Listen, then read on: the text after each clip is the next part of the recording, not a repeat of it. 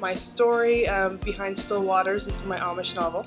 So share about the true story behind that. And actually my daughter's friend is the one that inspired that story. They were on the basketball team together.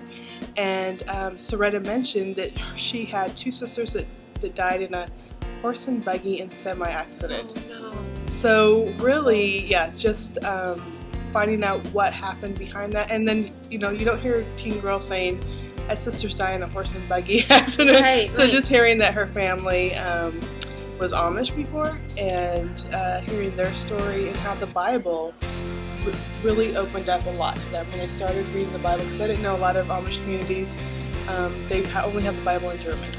Oh, I didn't realize So that when they started reading the Bible in English, their whole world opened up. And so it's really just about how God's Word changes us and transforms us